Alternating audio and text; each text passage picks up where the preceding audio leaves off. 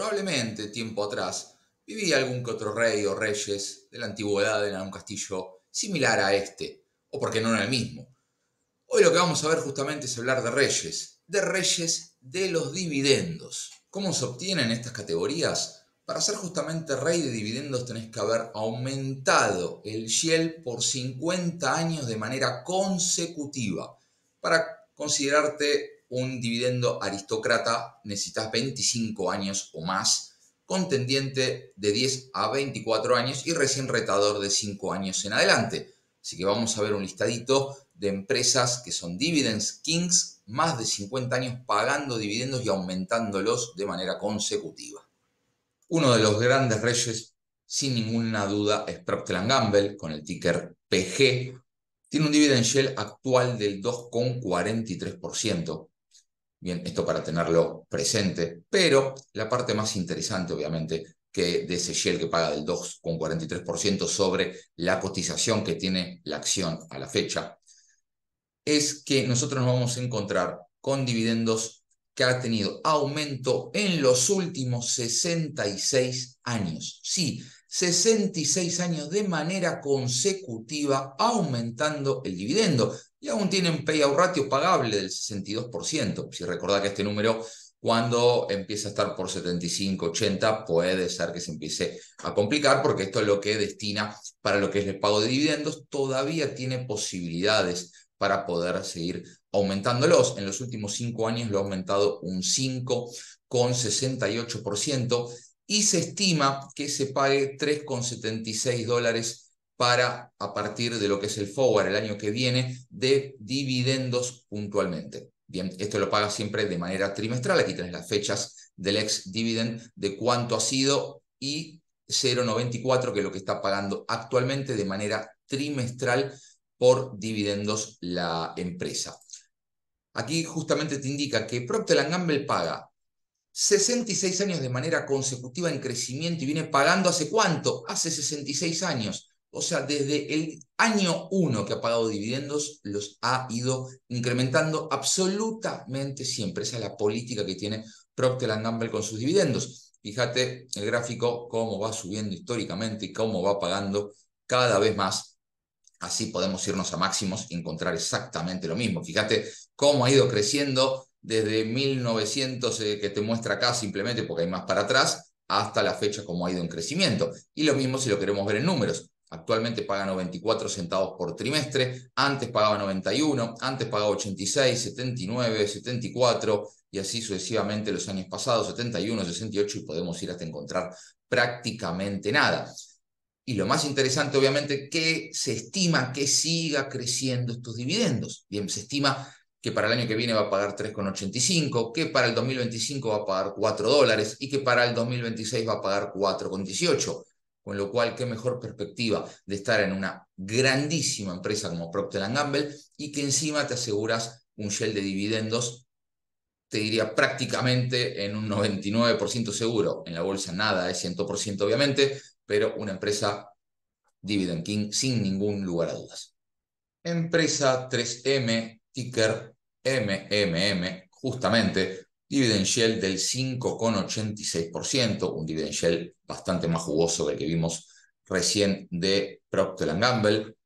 Si vemos la historia en cuanto a los dividendos, nos vamos a encontrar con que los viene aumentando de manera consecutiva por 64 años. Está pagando actualmente por trimestre un dólar con 50 el payout es de 65 con 64, parecido al caso que vimos de manera anterior, y en los últimos cinco años lo ha aumentado en un 2,65%.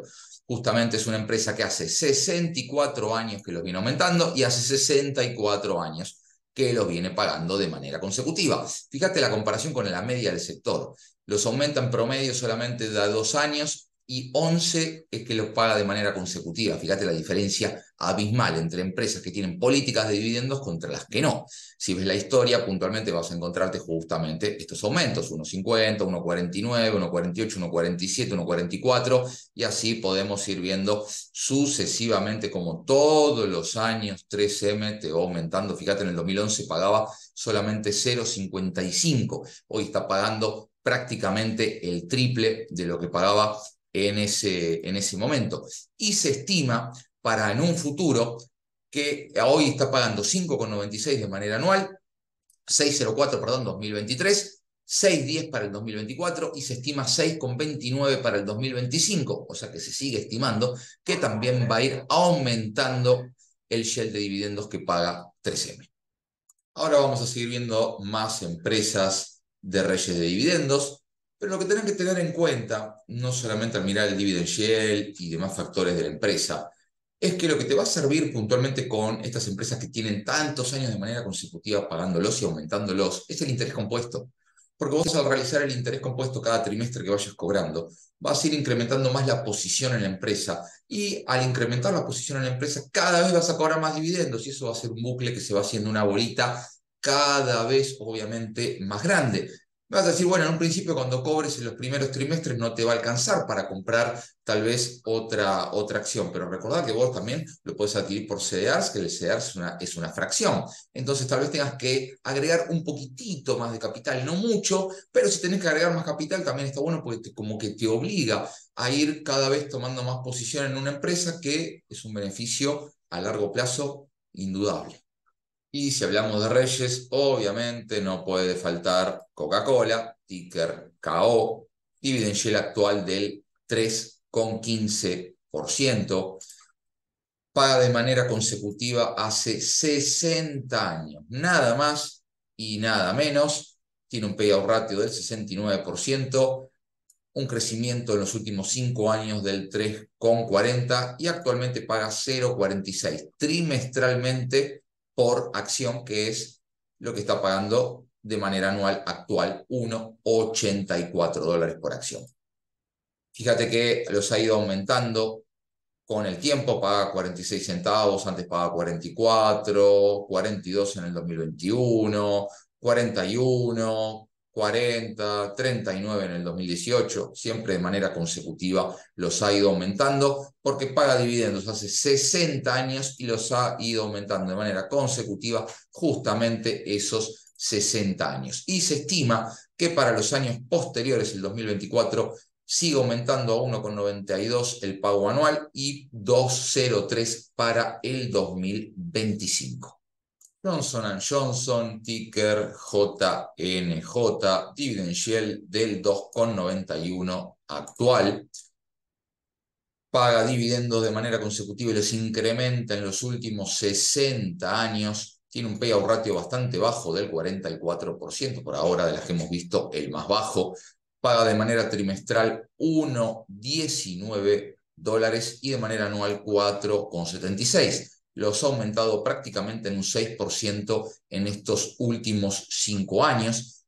Los paga hace 60 años justamente y hace 60 que lo viene incrementando. Si vemos la historia, vamos a ver que paga 1.19 de manera trimestral, paga 1.13, 1.06, 1.01, 95, 90, así sucesivamente. Y fíjate que en el año 2010 pagaba solamente 0.54, comparado con ahora paga más del doble. Bien, y lo que se estima para los años futuros es que de los 4,68 actuales va a pasar a pagar 4,93 el año que viene y se estima que para el 2025 van a ser más de 5 dólares, 5,19. Esta empresa no sé si tal vez la esperabas dentro del ranking.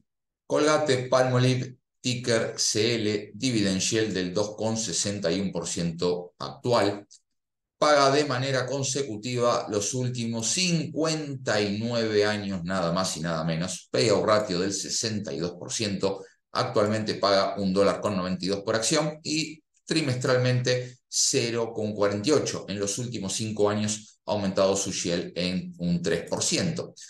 Fíjate que justamente paga dividendos hace 59 años y los aumenta de manera consecutiva en estos últimos 59 años, como vemos en el gráfico y también como vemos en cuanto a los números, siempre año tras año ha ido en aumento.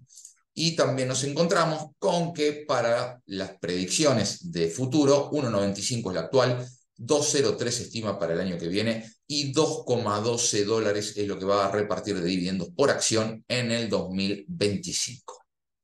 Déjame en los comentarios qué te parece hasta aquí. Seguramente vas a encontrar pros, contras y demás. Vamos a ver con la calculadora de interés compuesto qué va sucediendo cuando yo voy reinvirtiendo justamente este shell de dividendos para sacar cuentas y ahí tal vez clarificar un poquito más el panorama. Vamos a tomar como ejemplo una de las empresas que hemos visto, 3M, ¿sí? 102,32 la cotización, la vamos a llevar a la calculadora de interés compuesto, vamos a redondear en 102 el valor de la acción, cantidad lo vamos a dejar a 10 años, el dividend yield actual de 5,86 y la frecuencia de capitalización trimestral, ¿sí? porque los dividendos los cobramos de manera trimestral en este caso. Y voy a tener en 10 años 182 dólares simplemente si la cotización igualmente de la acción sigue exactamente igual, solamente por reinvertir dividendos, no muy lejano al doble de la inversión. Vamos a calcularlo con un poquito más, ¿sí? porque como hemos demostrado, el dividend yield va aumentando año tras año. Vamos a hacerlo con 6,25 promedio. Fíjate que ya te da 100,89 y en el caso que llegara al 6,5% en un futuro, es muy probable, 194. Sí, ahí sí, ya casi, casi estás teniendo el doble. Y recordad que estas empresas año tras año van aumentando el shell de dividendos. Entonces, es muy probable que lleguen a este número en lo pronto y seguramente lo superen. Y esto además, como te digo, te puede obligar a tomar cada vez más posición y que estos números se vayan haciendo un bucle cada vez más grande. Voy a compartir esta web, streetinsider.com, donde vos podés venir a ver, como en el caso acá de 3M, con el ticker correspondiente que lo buscas aquí, la empresa que vos quieras para ver los, las fechas del ex dividend, que es cuando vos tenés que tener el CEDAR en tu cartera para estar acreditándolo. ¿Y cuándo la fecha de pago? Si por muchas veces después se pregunta, ¿y cuál es la fecha de pago correspondiente? Bueno, y ahí está actualizado, vos pones el ticker correspondiente y con el ticker te va a dar la data, también te informa el Shell y demás para que obviamente lo tengas en cuenta y el monto, y el monto que vas a estar recibiendo. Con lo cual ahí podés tener la información de los cobros correspondientes, también lo podés ver en la web anterior que vimos de Sequin Alpha, pero para que tengas también una, un plan Vamos a evaluar pros y contras, obviamente. Eh, primero que es una estrategia a largo plazo, si a corto placista no te va a servir porque la idea justamente es reinvirtiendo el shell de dividendos y haciendo interés compuesto. ¿Qué pasa? Podés decir, bueno, sí, pero te quitan el 30% de retenciones en estas empresas. Si bien es cierto, hay que, tenerlo, hay que tenerlo en cuenta. También tenés la posibilidad de invertir en otras empresas que tal vez no son dividend kings, pero no te quitan retenciones y balancear también por ahí la cartera. Recordá que eh, yo sigo ofreciendo puntualmente esas, son más de 20 empresas puntualmente que no pagan retenciones, que me lo podés pedir sin compromiso a info.corazonfinanciero.gmail.com o bien te voy a dejar el link del vídeo que lo hice para que vos lo puedas investigar por tu cuenta y hacer el laburito para encontrar justamente todas estas empresas. Bien, pero también tengamos en cuenta por otro lado a favor, tenemos estas empresas que estamos calculando que en estos últimos 10 años siempre han tenido crecimiento y te lo he tomado al mismo valor fijo, ¿sí? Y es, te diría, prácticamente imposible, excepto que ocurra algo de manera macroeconómica muy complicado, que la economía no crezca de acá en los próximos 10 años en absoluto, que estas empresas no sigan valorizándose.